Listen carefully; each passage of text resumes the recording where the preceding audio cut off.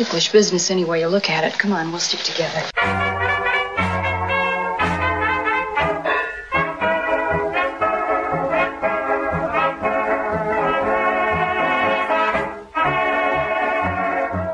It's Ticklish Business, the podcast devoted to honoring and deconstructing the world of classic cinema. As always, I'm your host, Kristen Lopez. To honor our centennial star for August, Robert Walker, guest Drea Clark is going to join me to look at the home front in 1944's Since You Went Away. And he was wonderful. He was marvelous in the part. He really was. And we ran to ran into each other uh, oh, several weeks after the movie had come out. And he was very glad to see me. And he said, Let's get together.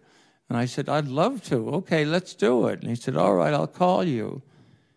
And then, like a, a week later, he died. And uh, I was very sad because he was a wonderful, wonderful actor. And I respected him highly. The voice you just heard was Farley Granger talking about our centennial celebrant Robert Walker. Robert Walker was born October 13, 1918, in Salt Lake City, Utah. When he was a child, his parents divorced, the first bit of emotional damage that he'd carry with him throughout his life. As a kid, he was a troublemaker, acting out, probably due to the divorce, and was expelled from several schools.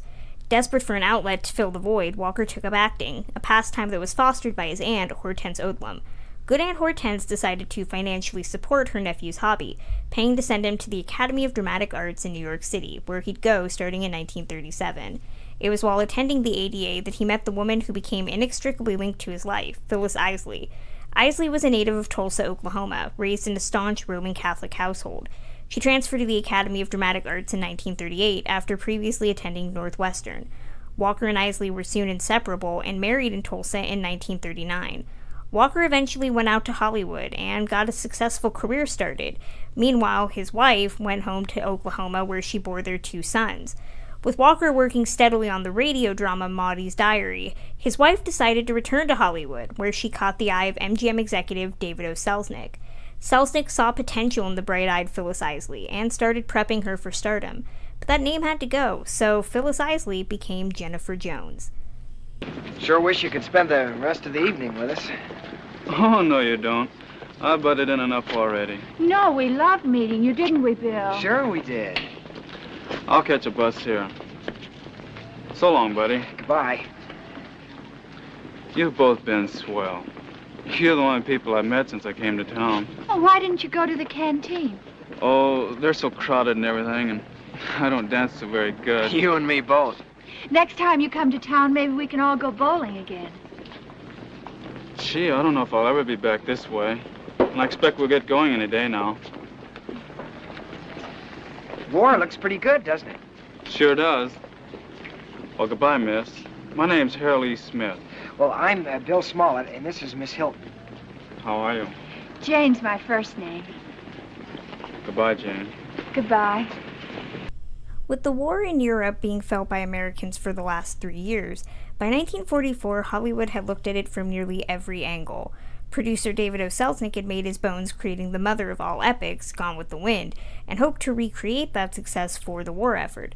Aided with two Best Picture Oscars for Gone with the Wind and Rebecca, Selznick could write his own ticket and soon discovered Margaret Buell Wilder's novel Since You Went Away.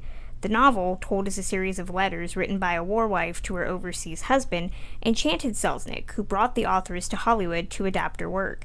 Unfortunately, Wilder's book didn't immediately lend itself to a feature, and Selznick, realizing the novel would need to be fleshed out to film length, just decided to take the reins himself. He eventually churned out a near three hour melodrama covering nearly every facet of the home front, from the questions of familial sacrifice to discussion about the levels of masculinity. Suffice it to say, it was a different take on the war compared to previous films that had come out from the genre. Like Selznick's previous features, Since You Went Away boasted an amazing cast of big names and soon to be legends. Claudette Colbert leads the charge as matriarch Anne Hilton, but she wasn't the actress campaigning heavily for the role. Prominent theater star Katharine Cornell wanted the role desperately, but her only film credit at that point was as herself in the war musical Stage Door Canteen. Selznick instead went to Colbert, who, at 38, didn't want to play the mother of a teenager quite yet. It was up to Selznick to convince Colbert that it was her patriotic duty to star in the film. though she had just done her war picture with 1943's So Proudly We Hail. I'm sure Selznick's significant salary helped as well. He also convinced Shirley Temple to come out of retirement to star as the youngest Hilton daughter, Brig. Temple had semi retired in 1942 to focus on school, but when Selznick offered her the part, the actress thought that this would help transition her to adult features. But may I make so bold as to ask whether you expect me to bathe under that? But golly, Colonel Smart, there's a shower off Pop's room. I mean off your room. Pop always used a shower. Since You Went Away is filled with the love and laughter, the hopes and dreams of an American family. The kind of family 11 million Americans once fought for.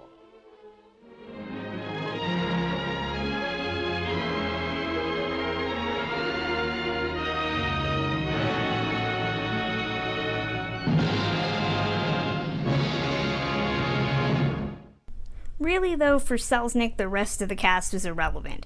The real star of the movie was meant to be Jennifer Jones, playing Anne's eldest daughter, Jane. Jones was on the rise after winning an Academy Award for The Song of Bernadette, and Selznick hoped that playing Jane would showcase Jones as a regular, down to earth girl.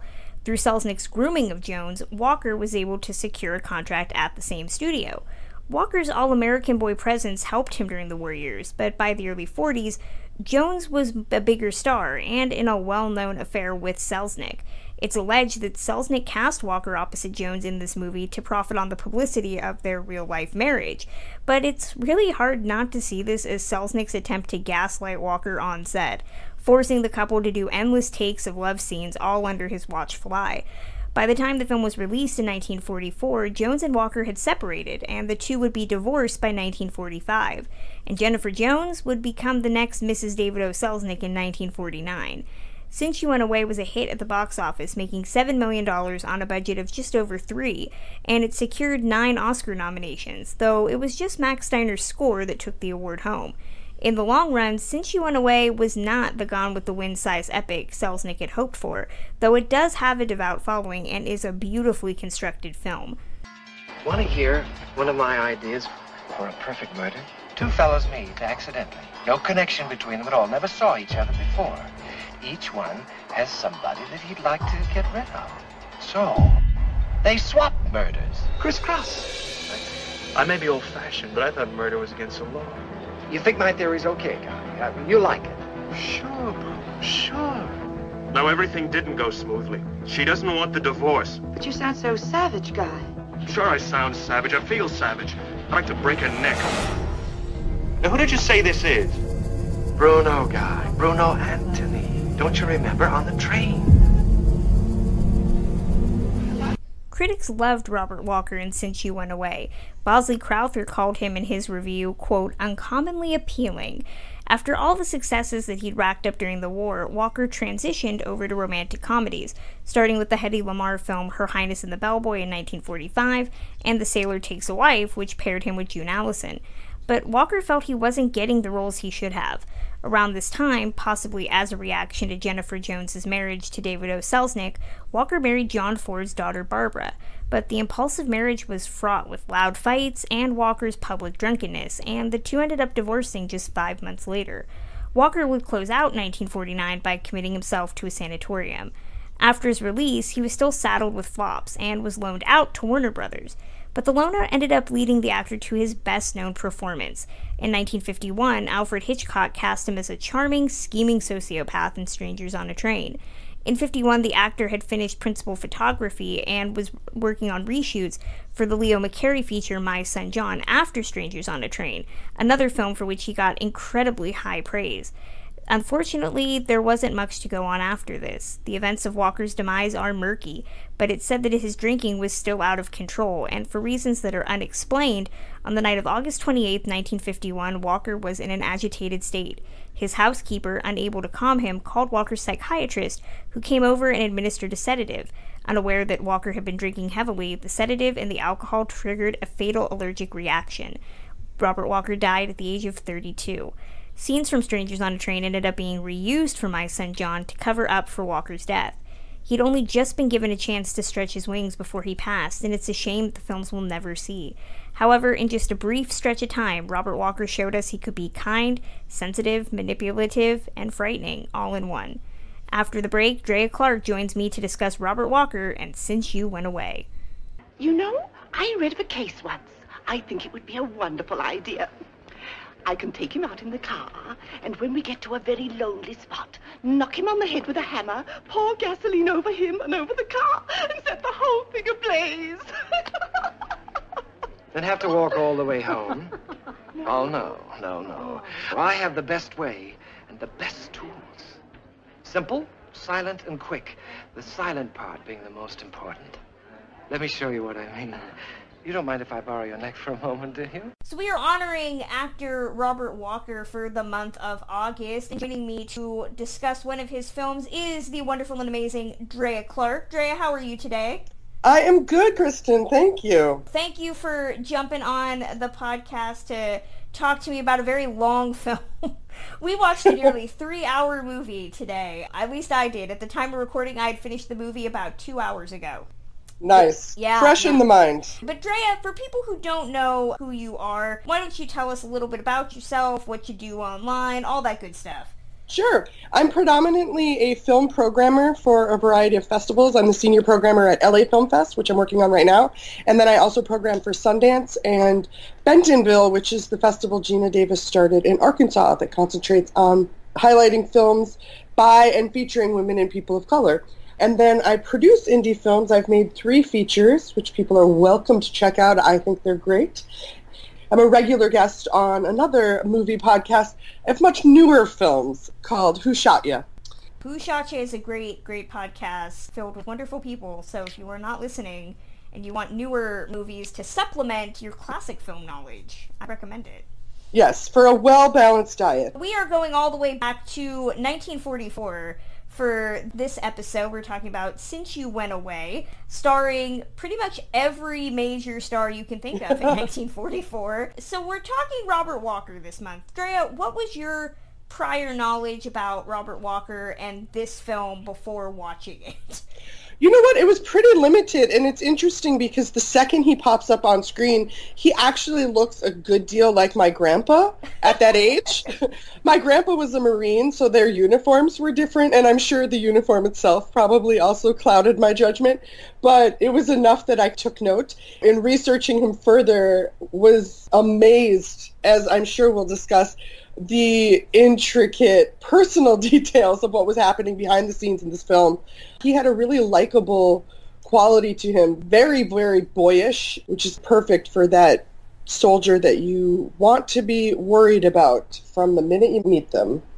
Robert Walker, I know more for the background, what happened to him, I think, which right. most people know. But I had only ever seen one Robert Walker film, which is Strangers on a Train we'd already talked about Rope when we talked about John Dall, which is very similar to Strangers on a Train, and I have a limited love for Hitchcock as it is, so sometimes you gotta you gotta mix it up. So I went with a rom com. Well, a rom rom, I guess, is the the term. A fam rom com. Yes, I thought about doing The Clock originally, which is from 1945, okay. which has Judy Garland, which is a fantastic, fantastic movie. If you have not gone and seen that, and you like this, I would recommend going to watch that movie. But I figured let's go with something from early in his career-ish. He had been working since 1943, credited, even though he had made two uncredited appearances before this.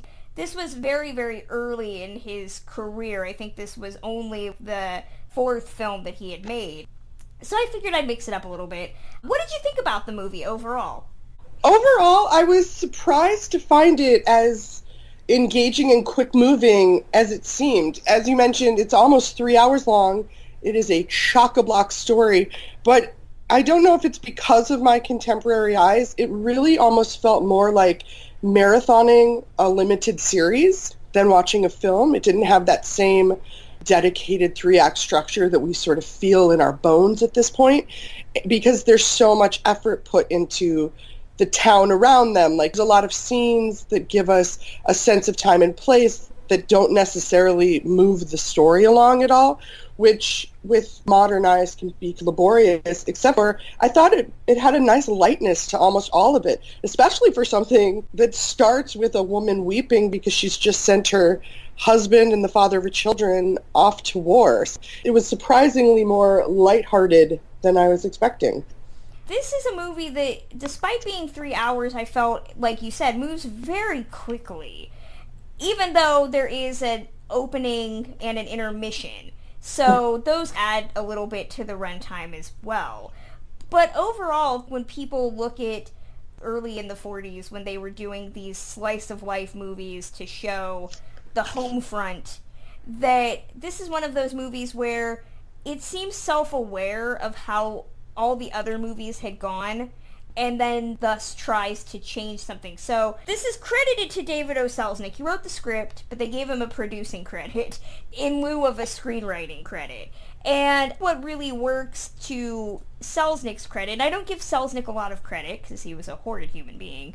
Agreed. Is, is that he had seen all these other movies that had come out about the home front and sought to do something and say something different. So I don't know about you. Did you see commonalities to other films while watching this? I did in the sense of we talk about now looking back at America as a greatness and that the American home front during the war was one of the things that's referencing that a lot of these center around a sort of ambiguous Midwestern setting with a range of characters, some comedic, some dramatic, that to them is this whole slice of life. And looking back now, we're like, well, that's actually a pretty limited slice that we're seeing there. There was something about the tone of it. I said that it's an unexpected lightness, and I think it's because I had Gone with the Wind in my head, his previous big Oscar winner, which is more melodramatic and more prone to the darkness. Whereas this definitely as you're saying, picks up on that American home front. It has more of the lightness of things that have like a musical quality to them or something that makes them more engaging to a broad audience that needs to have a little sugar when it's talking about this ongoing war. Selznick really wanted this to be an epic which is why he ended up vastly changing the book, which Margaret Buell Wilder is the author, and her book is an epistolary novel, so it's told in letters he actually had to vastly change the book in order to make it a three hour movie. And this is the most expensive film since Gone with the Wind. But what I think this movie does better than even something like Gone with the Wind, Gone with the Wind is a war movie in the sense that the war happens. You have to watch Scarlett O'Hara adapt to the war and get over her selfishness. And it's really a character study with a war movie in there. At least that's how I see it. I'm sure somebody's rolling their eyes right now saying that's not at all what Gone with the Wind is about. But I compared this to Mrs. Miniver, which mm-hmm. was from 1942, which was what this movie wanted to be and also rail against. That movie I have problems with. And I have problems with this movie too. This depicts the home front as very white, which we all expect, but mm-hmm. also very upper class even though Mrs. Miniver and this are supposed to be middle class family, the average American family, and people were not nearly as bad as they were in the Depression, but this is still showing you a very Hollywoodized version of what your home was supposed to look like. Even something like Meet Me in St. Louis, which came or at the same time, is still very much this upwardly mobile movie about how you either lose everything in these movies or you stay relatively stable as a means of showing like you can do it. Well, I wonder if it's in response, like you said, Mrs. Miniver is set in London, and so there's that British sheen of even lower class British representation can often seem snooty to an American audience if there's an accent and you start to put in titles the Royal Air Force. There's things of that. Yeah, it's like keep calm and carry on type exactly. I wonder if Selznick's response to that in his attempt to replicate but improve upon and Americanize took that still as a challenge that we wanted to look as good as the Brits in all ways. This isn't like Mrs. Miniver if, if anybody's seen that movie. Right. The war comes into their home there's a Nazi that literally lands in their house, and they have to deal with that. This movie has a lot of surprises for me that I was not expecting. And one of the things that I really didn't expect was that there is no third act. The war is coming for us. There's not an air raid at all Yeah. in this movie. Well, that's one of the most unique things about both of the world wars that this country's gone through. The biggest wars, really, even everything in the Middle East to Vietnam. We are removed physically from it, and so our art is as well. Like you said, there's not a Nazi that's going to land in your home if your home is in the Midwest of America during a war. They always refer to it like, oh, the boys are shipping out. There's an away game quality to capturing World War II that's very unique to the American perspective. what I appreciated too is that there's not a lot of speechifying too. Yes, there are moments where the characters get a bit indignant. Jennifer Jones's Jane has that great speech with Agnes Moorehead, who plays Oh. the friend, where she talks about how Agnes Moorehead's character Emily hasn't given anything up and how dare she critique the men who go off to war and the women who stay to help them cope. But there's no grand, we're going to endure. There's no Scarlett O'Hara, tomorrow is another day type Sure. of moment, which I appreciated because I think by 44, the war ended in what, 46 in the US? So we had seen so many of these movies that I think Selznick was like, we've had speeches. Now we're just in the slog, just dealing with the dead at this point. There's really no need to tell us what we already know. Well, and it is an interesting narrative angle, him using that to build out the letters that the source material was based on. It's so true of how the American experience would be during the war. These women are genuinely looking for some way to help, all of them, even from Brig the youngest to Jane to Anne, who starts welding at one point. It's not the same as being in direct fire, and because of that, there's a unique guilt that comes with it, and it affects the characters of what are we doing to alleviate our guilt and help this cause.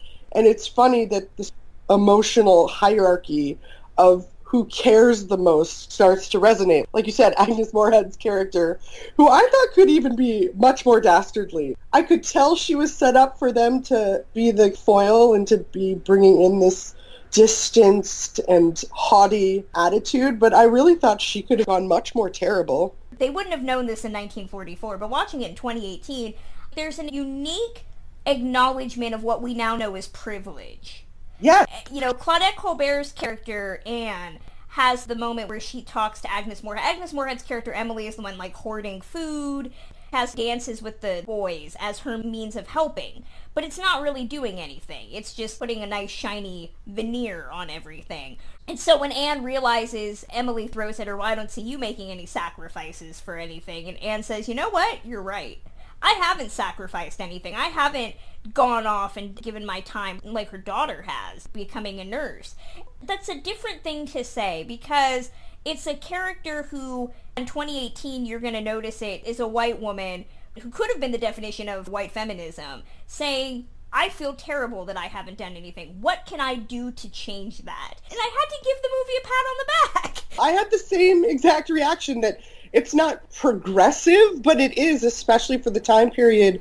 There is an awareness of that unnamed privilege with all of these women. And it's, again, it's less about alleviating how they feel and more of them looking at an overview of what am I doing to improve things for this country, for my community. I also found with Hattie McDaniel's character, because I mentioned to you, I didn't know she was in this before. I was looking it up, and the minute I saw her name in the cast list, I had that uh, that back of your neck crinkle happen with the worry of how she would be utilized. As much as she's there in a servant role, I was also pleasantly surprised that from the first time we see her, even how she's dressed, she's in this really beautiful suit with a hat, and she's also establishing her own term. She's doing them a favor by helping out. She's gone and found employment elsewhere. Claudette's character, Anne, is gracious to her. Both Claudette's character and Joseph Cotten's character treat her as familiars, as peers in a sense, much more than I was expecting of how they respect her time and part of the family. Again, there's the sort of problematic moments and there's things in that that I always worry of how they were asking her to portray a woman of her race and class versus how that woman would actually have been. But I still thought it was a more delicate handling of her character than I was expecting. Don't forget that Claudette Colbert was one of those actresses that had done movies where she had played an equal to a woman of color. I thought of 1934's uh, the original version of Imitation of Life, where she played opposite Louise Beavers, and they are both single women raising children and trying to make it in the world. Watching this, Hattie McDaniel's got the affectations that are very stereotypical in the way Yeah. she speaks. But for the most part, she says to them, oh, I'm making my money, but at the same time, these people aren't my family. I want to be with you guys. The children defer to her. There's this real equality in the home between the two women, and she's always included. It's not like this pity, oh, we should invite Fidelia to Yes. come hang out. No, it's the knowledge that she is included. If, if people don't notice it, it's a very brief moment, but there's that fantastic long shot in the train station where you see shot Yes. of an African American officer with his wife and child as he's about to go to war. And it's just one scene, but the camera puts him front and center in that mm. moment, reminding the audience that, hey, this is men of all stripes are fighting in this war. The movie didn't have to do that. And I'm not saying that we solved race relations in this movie. I thought it was really nice to see some acknowledgement of the men who weren't white who were risking their lives for this country. I thought that was a really great inclusion in there. And like you said, that it's not just him as a soldier, it's him with his family. He's holding a crying child. They go the extra step of you hear the ADR voiceover of this kid saying how much they were going to miss their daddy. It's a fully humanized moment. I was actually really taken by the cinematography. I'm not usually taken by cinematography unless it's like James Wong Howe or something like that, but there were some really great shots courtesy of Stanley Cortez and Lee Garmes with George Barnes and Robert Bruce who were uncredited DPs. And so I had to just bring them up. I thought there was some lovely cinematography. Jane, after she says goodbye to Robert Walker's character, she's just standing at the train station. There's this nice long shot that gives the shadows. There's a lot of great interplay of shadows in this. It's like if a noir movie just walked into a war film very briefly. The three women, Anne and Jane and Brig, are walking away, the way their shadows are cast on the floor. It's very interesting to see such great cinematography in what was a genre that I don't necessarily think, unless you were showing war footage, was really known for glamorizing the shots. It also isn't something that always stands out to me, so then I know when it does, it's doing some really heavy lifting. Normally, these films, anything that's set in such a domestic setting, we're in their kitchen a lot, so much of it is in the home, and it's this home run and dominated by feminine presence. That's often just given static shots and very flat lighting. The idea is to just give them the broadest lighting possible so it looks clean and bright and well lit. Whereas this, there's a lot of times where they'll just be preparing tea or toast or the colonel's poached eggs. And there's beautiful lattice work coming in from the outside and the shadows of leaves. And not just the lighting of it, I think, stands out and so much care was given to it, but there's a lot more movement with the camera and the characters within the frame than a lot of films, certainly of this time and definitely of this genre. There's always beautiful interplay between what's happening in the foreground and the background. It's a scene in the kitchen. It's not just someone who comes one place and chops something because that's not how people move. The cinematography and the direction allows for the characters are bobbing and weaving around each other and they circle from here and then they end up in another space. So it's a really fluid looking film, which again, for something so domestically set, is a nice juxtaposition.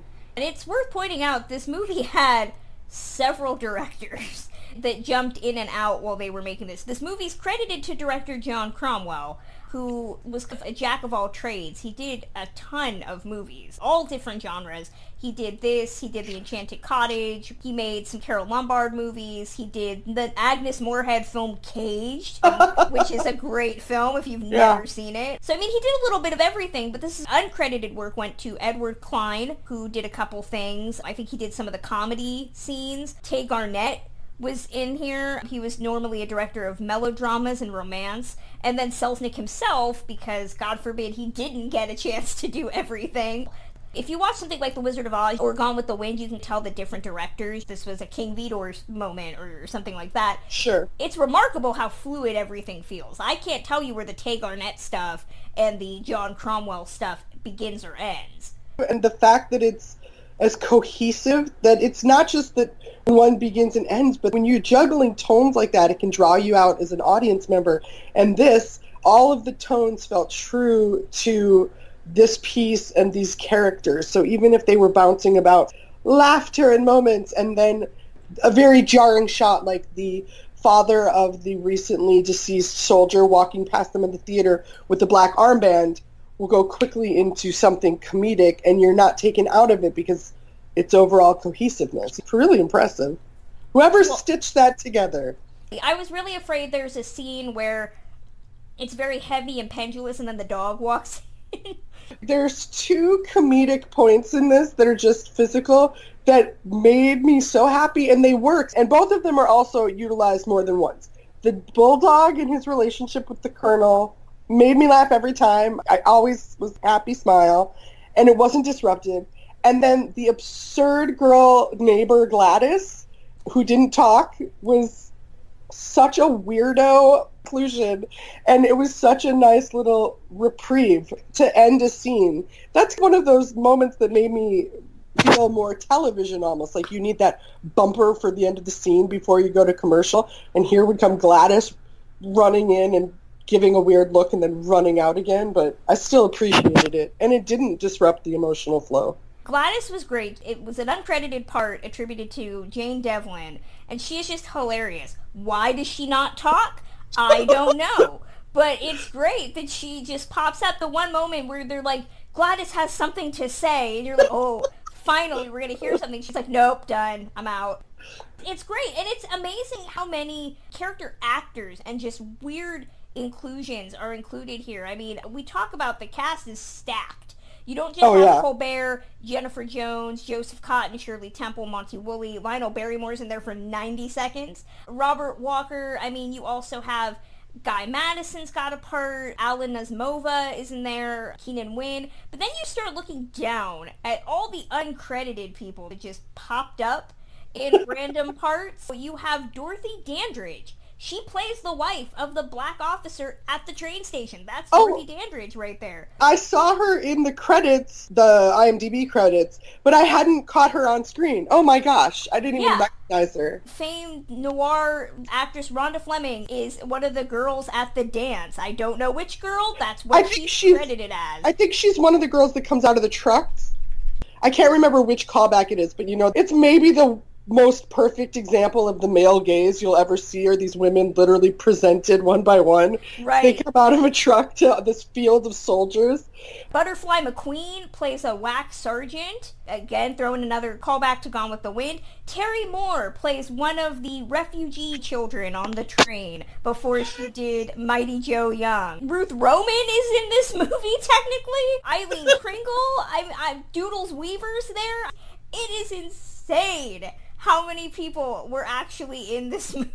If you have a three-hour movie by David O. Selznick, you get Yeah. to stack the deck. We gotta talk about David O because he permeates everything in this movie, whether he wants to or not. And we can't talk about him without talking about our star of the month, which is Robert Walker. Robert Walker, best known for playing the villain in Strangers on a Train, but had a very lengthy career before dying relatively young. He plays Bill Smollett II, the grandson to Monty Woolley's character. And in case you're curious, Robert Walker died at 32. He died in 51. He made one movie after Strangers on a Train. Technically, that includes footage from Strangers on a Train because he died in the middle of production. But he plays the grandson, of Monty Woolley's character, who is considered a burden and a disgrace because he's not brave. He's not the male example of American G.I. Joe going off to war with his head held high. He doesn't really want to do that. Is very progressive in 2018, but it felt like we were trolling him the entire time if you know the backstory. And it's funny, as I think I said, Strangers on a Train is the only thing that I recognized him for, which is why I was so taken aback by his boyishness in this. But you're right, it's his performance, but every single time we see Bill, his soldier, he's so awkward, but it's always tempered by a politeness or something that we would admire. So it's this thing of, I'm sure he was constantly like, Are you making fun of me? Am I the butt of a joke here? Because yeah, it's almost like he's that, being gaslit in every scene Yes, by, it's by that- Selznick. it's that give and take. He's a soldier, he's enlisted, he's signed up himself, but then he's mocked for having not been strong enough for West Point. They have a strange exchange with a Navyman when they're bowling, and he's really weird about it and very threatened.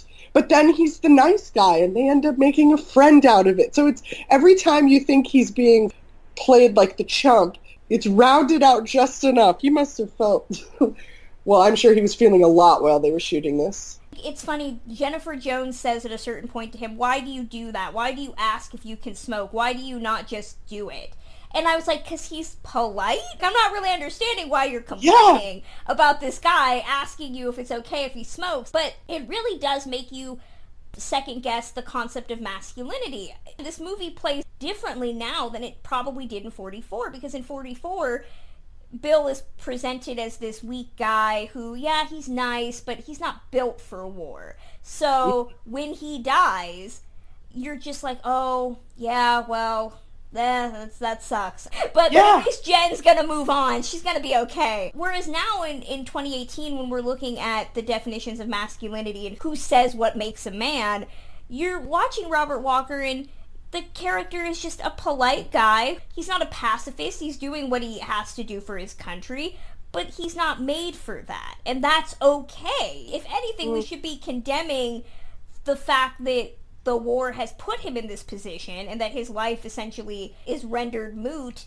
because he's not built for it. Which makes me question do you think this is a pro war or anti war film? Because I was sitting there thinking, the movie's not really saying it's for going off into war. You know, there's nothing poetic or, or grandiose about these people that go off to war. They die or they're missing in action. And since we're only watching the people that are back home, so I don't think it's pro, but at the same time, it's not saying war is terrible and we must stop it. I feel that this film was very much taking a female audience into consideration and that the pro-war sentiment was in terms of redirecting thought to what can the women and the people left behind do? What kind of victory gardens can your old men sow? I don't garden. What kind of work can they be doing? What kind of volunteering? There's this occasionally utilized othering of the enemy. They say the word Japs several times in obviously very despondent ways. The moment to me that was the most glaring in terms of, oh, this was made many years ago when the cop pulls them over, he mentions in a like humorous way, I hope you kill a lot of Japs. And then he literally pulls his eyelids back in this horrifying Yeah. caricature. and I was like, oh, gross, gross, especially because it's for a comedic moment too. It's more that that sentiment of less pro-war, but more American duty and remember who the bad guys are and keep your head down and nose to the grindstone. I guess the American version of keep calm and carry on. It's less about fanning the flames and more about keeping the masses in line. Well, there's also this idea that there are forces bigger than us at play. This is the government. Nobody's marching on Washington. So it's the concept of this is just how life is. It, it's almost complacent, which is again very relatable, I think, to right now, where a lot of us are saying with our current political structure, well, what do we do? We can't do anything. Individuals can't do anything. We just have Right. to endure it. So it does have that. But Robert Walker does very good with a role that does definitely feel like it's poking fun at him. And a lot of that has to do with if you know what was going on, the scenes that he has with Jennifer Jones, who plays Jane. Now, the two were married. They were married in 1939. I believe this was the first and last time they made a movie together. But by this point, Jennifer Jones was in a well known public affair with David O. Selznick. Now, her and Robert Walker would end up divorcing while they were filming this movie, and Robert Walker had long-standing mental health issues after the fact that a lot of people laid at Jennifer Jones's feet, and then he ended up dying under very weird circumstances at the age of 32. Watching this, the scenes with him and Jennifer Jones, I still believe their chemistry is palpable. They Oh. are still adorable together in this very chaste way. It's a very, very chaste relationship which you figure it has to be considering who wrote the script and who was producer and who was banging the leading lady and who was on set every day. But David O. Selznick would actually force the two to do the scenes over and over and over again purely to screw with Robert Walker. I was just sitting there thinking, oh my god, this poor guy. And I think that adds to the timidity of Robert Walker's performance. But at the end, when he goes on the train and she's chasing the train and, you know, they're both saying goodbye to each other, I was sitting there thinking, no, this is a couple that still loves each other. I still bought that, you know what, they were into each other regardless. There are complications I didn't discover until after I'd seen it and then was reading and then was like, wait, what? Because it seems like such cruelty to cast him in that in the first place, why he did it, what personal sacrifices he made, or if he was thinking that would repair his relationship, I have no idea. But the idea of being in a role where you are meant to be falling in love with the person who is actually your current wife. It is a messiness that if it came up as a plot point in a TV show, we'd be like, there's a little too much. Scale back a little of this. But for it to be reality was absolutely bonkers. It is interesting knowing his ultimate end, his struggles with addiction, with mental illness, and what all that could have factored into both his performance and why he would do this film. It's heartbreaking because Bill is this character of supreme vulnerability. And I am totally with you. People either have on-screen chemistry or they don't. And these two made total sense. That sparky wonder about them. It's heartbreaking in a few different ways. Full disclosure, I am pro Jennifer Jones. I love her. If anybody's seen Song of Bernadette, she's great in that movie. Jennifer Jones gets so much crap. She gets so much guff, mostly because of the Robert Walker stuff. And I think a lot of that is unfair. If you, you read up and you find out that what we know in 2018 would be a power imbalance between her and Selznick, it was pretty well documented that she did not want to get divorced from Robert Walker and that she was essentially compelled to and that the relationship with Selznick was not happy. She did stay with him till Selznick died. They had a child together. She ended up very, very messed up too as a result of what was a very contentious relationship. Her daughter with David O. Selznick ended up committing suicide at a young age, so that was not happy relationship either. So I feel she gets a lot of flack when we don't give Selznick flack for Right. the things that we know about him. But I do think she's very good in this movie. This was the longest ever performance for a supporting actress to receive a nomination. She's in about 90 minutes of this movie. She's very sweet. She always played sweet. She didn't really have a lot of range, and that's fine. But what she did have, I thought, was very good. She's that bright, sunny, all American girl. You do root for her and Robert Walker. She's sweet in a way that can pull off having the mumps and being Yes. crushed. And actually, you know, knowing that Selznick wrote it as well, there's strange things there about wanting the woman you have a sexual relationship to be playing this very green child woman, teenager, but whatever, that's a whole other thing.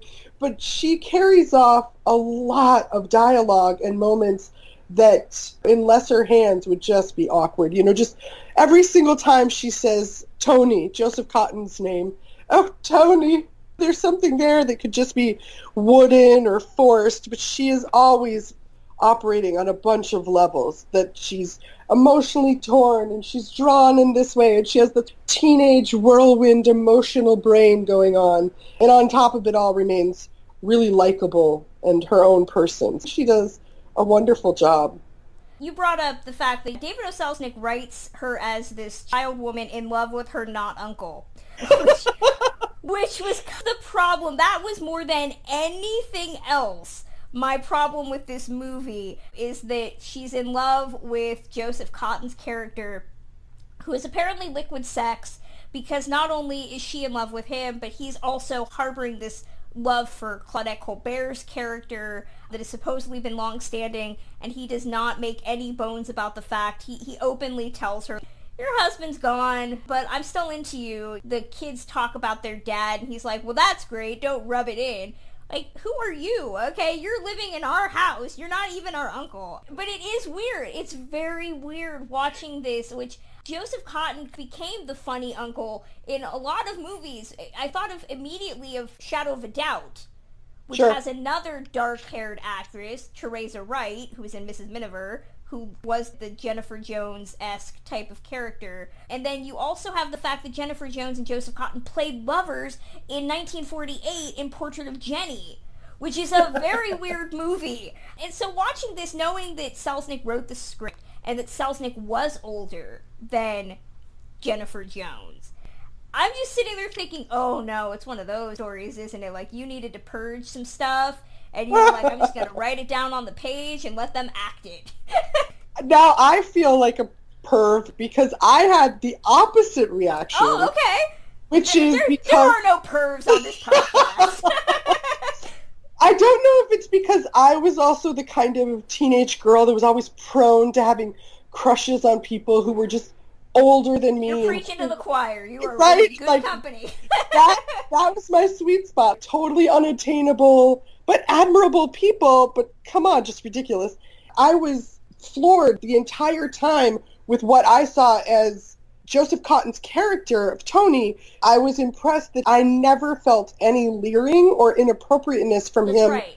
towards her. I felt that he managed to treat her as a child, but respectfully. So he wasn't ever condescending to her, and he was sensitive to how she felt. He always knew how she felt, but he was able to diffuse it over and over again without making her feel awkward or worse, which would have been what I had been thinking of if I was her age.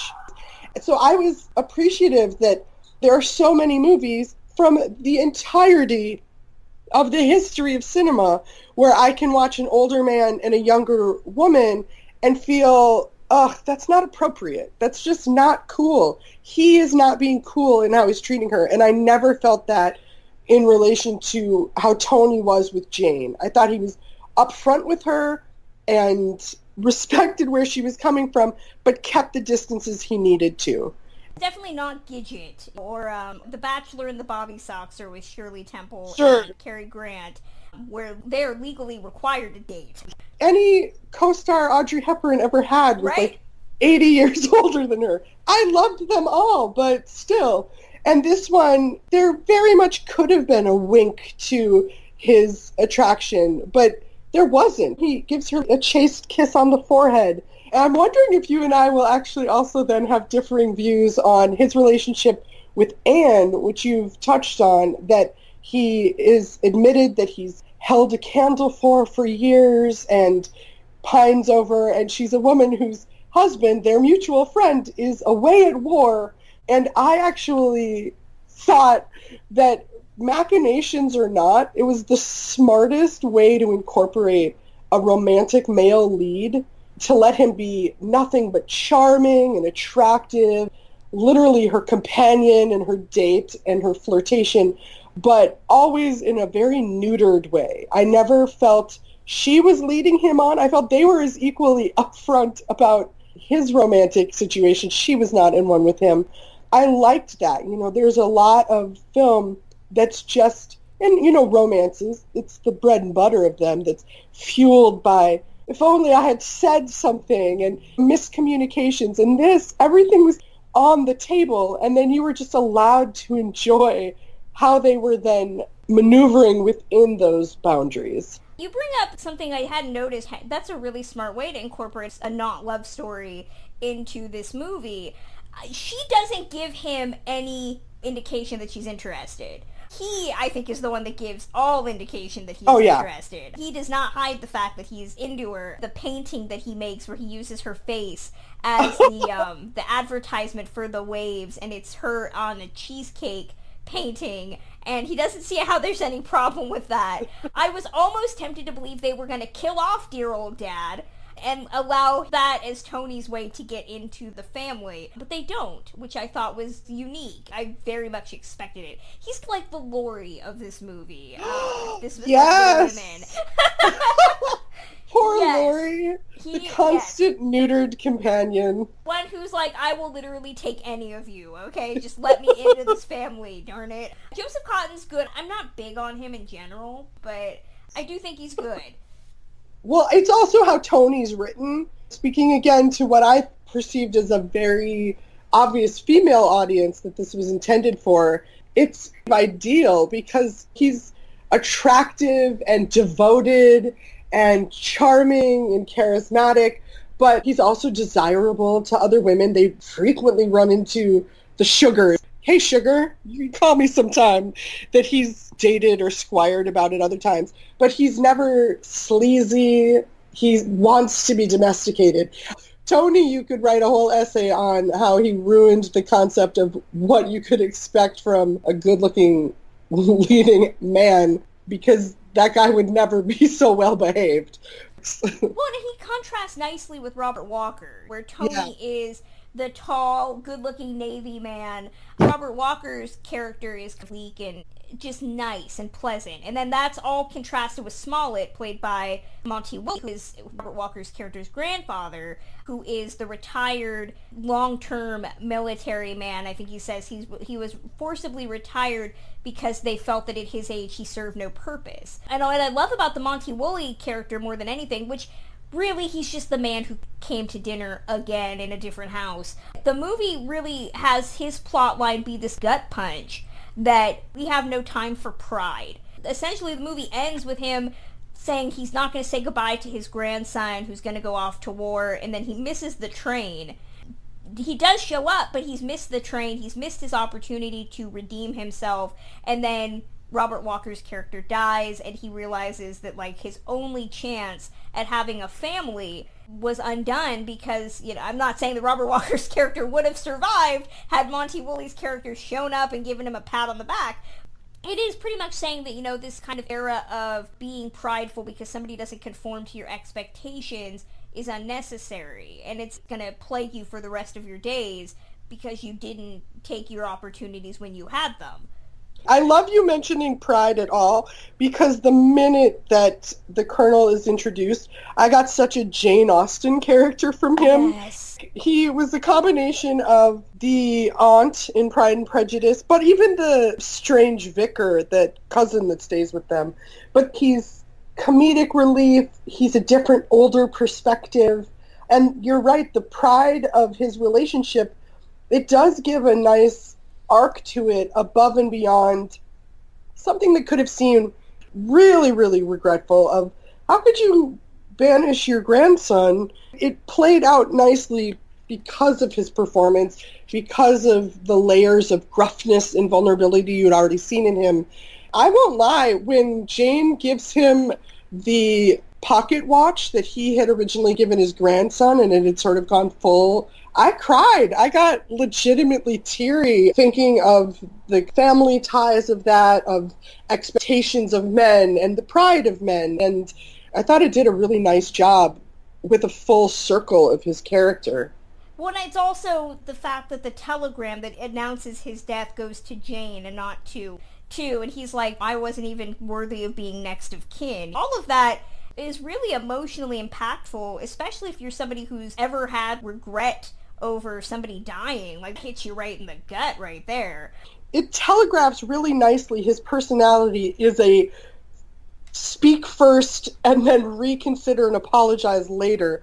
Just in the small exchanges, he's so insulting to Tony when he meets him, and he's like, the Navy, which is actually one of the funniest lines of the whole movie. But then he laughed, I'd never be friends with the man in the Navy.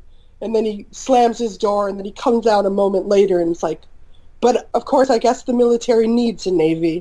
The idea that this character, even in the small snippets we get, is so shown to be someone who acts and speaks boldly, who makes proclamations right away, and then is constantly, for all of them, having to backstep that it makes it that much more poignant and heartbreaking. He will never get to backstep that with his grandson. Like you were saying, if you've ever lost someone, the permanence of what you'll never get to say reads so much stronger. Well, at least he's got Soda, the dog. ah, the dog. we haven't talked about Shirley Temple, who plays Brig. I will be blunt. I think Shirley Temple's films, as an adult, or at least as a teenager, she is not good in them. I think she proved that she was very good at being cute and a child, and then when that ended, you really realized how specific her movies as a child were towards what she was good at. This is a roundabout way of saying I did not like her character in this movie. Uh, I think she was cast for name recognition. She had gotten men through the depression. What was it? Franklin Roosevelt said, for 10 cents, you can go and see a baby smile and realize the world makes sense again. And I think that's what they were doing here. Shirley Temple can get through it. She can remind you of how you can get through it. But it doesn't work when you're dealing with, you know, like a 16, 17 year old girl. She's a little over the top. I did feel that everything was like her Shirley Temple performance. She has line readings in here where it was just like Yes. she's making pouty face, um, and I was just, I was just not Pop. having it. Why didn't Pops write me? Yeah. Exactly. Or, or the crying. When she cries, it literally feels like somebody is just like laying on your shoulder, like heaving into your. it's just, it's not good. It's not good. She is not good in this movie. I will agree with you that she is definitely the performance that I see the outer edges of what she's doing at all times. I do have sympathy for her because similar to like the kids now who come up through Nickelodeon, they're trained in such a specific wow, winky to the camera and she was not just machine at making movies as a child in this very particular style. She was applauded for it and recognized for it and told this is the best way to do this. I don't think she would have ever had the chance to branch out of that without a really strong director and a role and movie tone that was very very different than what she had done before because some of it hews a little too closely. There's melodramatic crying from all of the women in this. Truly, the first five minutes of this movie has this very heavy voiceover. Claudette Colbert is looking at this empty bed. I just was like, oh no, this is going to be horrifying. So I feel like there were clues that Shirley could have been picking up on, like, yes, everyone else is also doing heaving crying scenes. I'm spot on. Limited is a very nice word for it.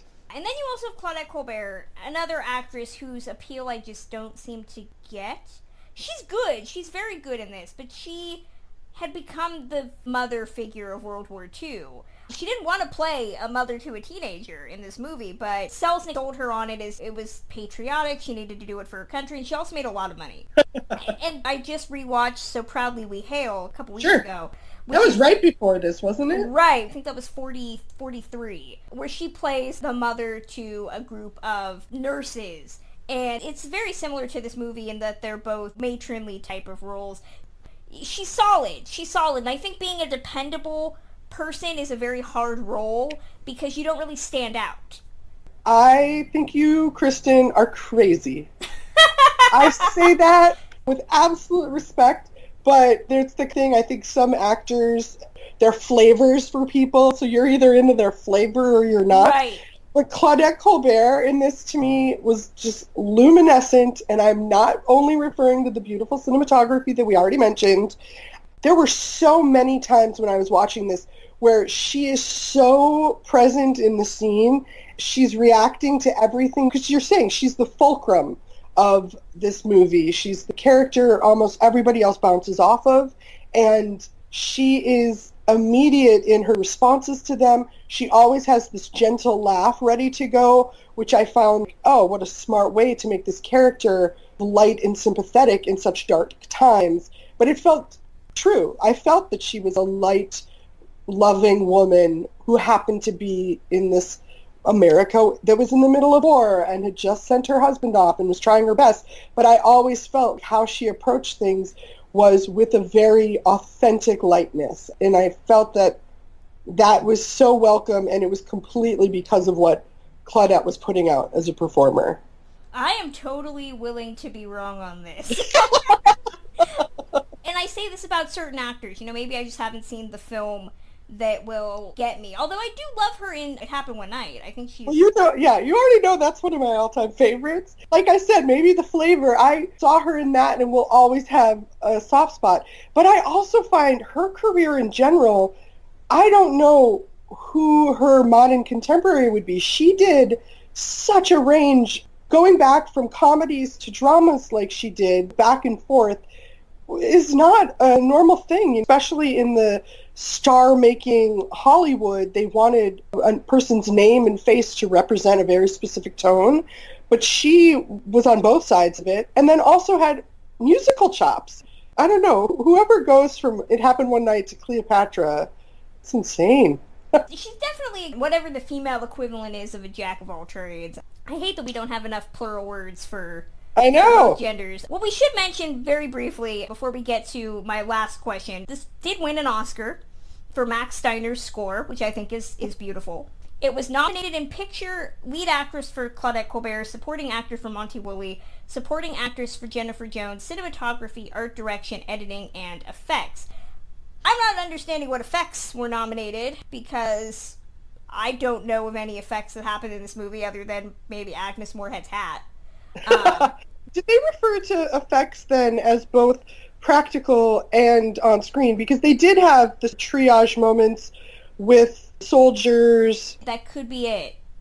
That Um, would make the most sense to me. Some of these winners, in case you were curious, the movie got shut out by Going My Way, which was the Bing Crosby movie. This was nominated for Best Picture alongside that, Double Indemnity, Gaslight, and Wilson. Oh, what a year. I know, and Going My Way is the one that wins, which It's I always guarantee that. you- exactly. I guarantee you nobody's going to remember. I'm sure somebody's going to send me an email. Going My Way is a great movie and you haven't seen it. Monty Woolley was nominated alongside Claude Rains, Hume Cronyn, Clifton Webb for Laura, and Barry Fitzgerald won for Going My Way in a bit of category fraud that they ended up changing after the awards. You could not be nominated for lead and supporting actor for the same role. Which he was. Yeah, yeah, he was Yeah. nominated for the same performance. Claudette Colbert was also nominated in a year that included Greer Garson, Bette Davis, Barbara Stanwyck, and Ingrid Bergman won for Gaslight. I mean, that's just a murderer's row. That, No, I can't complain. I can't complain that about not that. And in case everybody wanted to know what Jennifer Jones, who she was nominated alongside, Aline MacMahon, Angela Lansbury, Agnes Moorehead, her co-star, but it's not for this movie. She was nominated for Mrs. Parkington, and Ethel Barrymore won for None But the Lonely Heart, which I'm guessing they gave that to Ethel as like a decades of work. yeah, that's your Sylvester Stallone getting it for Creed 2. Yes. Yeah. Overall, though, do you feel music is about what it should have won for? Would you argue that it should have won something else? Yeah, who won for cinematography? So cinematography was switched into black and white, and apparently they had absolutely no limit because we have two, four, six, eight, ten nominees for black and white cinematography in 1945. Wow. So Since You Went Away was nominated alongside 30 Seconds Over Tokyo, The White Cliffs of Dover, The Uninvited, Lifeboat, Going My Way, Dragon Seed. Dragon Seed, in case you're curious, is a movie where Katharine Hepburn plays an Asian woman. Oh, Gaslight, my. Double Indemnity, and the winner was Joseph LaShelle for Laura. Oh, Which I can't complain. about I can't complain about that yeah, win. no, no. I, I'm, I'm with, I'll back that up. I'm glad it made the cut, although it sounds like most of them did. 30 Seconds to Tokyo, of course, being the kind of war film that goes a, a, whole different direction when it comes to propaganda. Keep in mind that this was also the year where they felt CoverGirl, Lady in the Dark, and Meet Me in St. Louis did not have great color cinematography worth giving an Oscar to. They were nominated, but the winner was Wilson. Let you guys all remember Wilson. Oh, one of my favorite movies.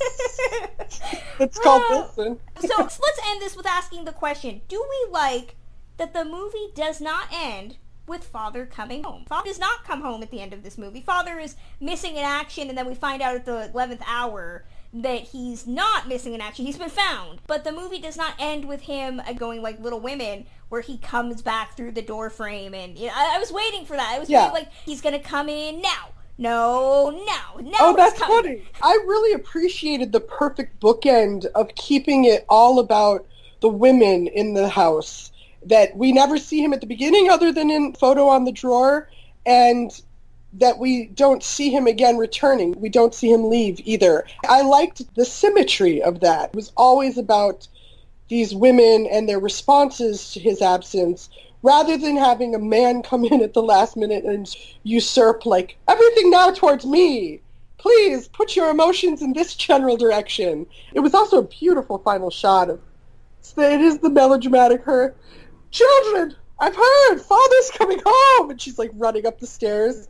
There's a beautiful shot out the window, and it, we leave them in their house, and we know things are going to be hopefully moving towards the better. I thought it was a lovely ending. I do like the ending a lot, I, and I like that it didn't go for what I expected. Keeps you on your toes. That being said, when she goes to wake everybody up, I was thinking, God, wouldn't it be great if you know they live next door to the Meet Me in St. Louis house where the dad was also waking everybody up to tell them. You know, this is just one of those movies. Apparently, in the you know mid '40s, you just could not get a decent night's sleep. No. Everybody was waking you up. So overall, do you recommend people watch this? What are your overall thoughts about Since You Went Away? You know what? I would recommend it. I think that in terms of a moment of time and something that really gives a lot of good feminine perspective on this, and both at different stages of life I really liked this, and I think we both agree it moves much faster than its running time. And the parts that linger are giving me a nice shade of what's around them in their community and in their world. I didn't resent them for those departures. I quite liked this and would definitely pass it along. I'd even watch it again with someone. I am so fortunate. Kino put this out on a very beautiful Blu-ray last year and I have that, and I finally got to watch it. I finally got to take it out of the packaging, which oh. I'm very happy about. So if you have not watched it, I definitely recommend it. Yeah, don't be intimidated by the runtime, because it moves very briskly. It's got practically every famous star you want to see yeah. in that time period.